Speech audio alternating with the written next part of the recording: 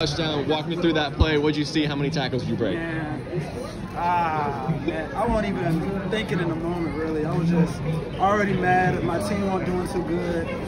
I just knew I couldn't get tackled on it. So I just knew that I had to score. So that's all that was going through my mind. Just get in the end zone, and then I got in. That's it.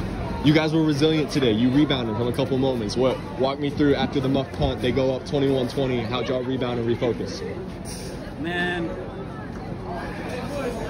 What are the coaches we telling we y'all? weren't really, we weren't really unfocused. We were Yeah. just a moment of weakness. And I guess we just got too comfortable. And Okay.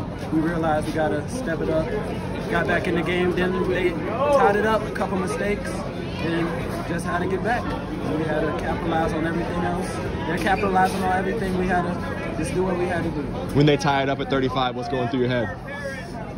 We can't lose. We, we can't lose. We, I can't. I can't leave the Springs 14, no, 29 and one. So I mean, I just couldn't lose. So when I said, number one, when he called the play, I didn't know it was to me. I was like, oh wait, the play, and then I got the ball, and then just did what I had to do. Teammates you were most proud of tonight, man.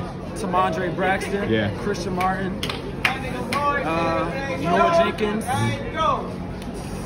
That's that's my top three off the top of my mind. Oh, and Eric Berger.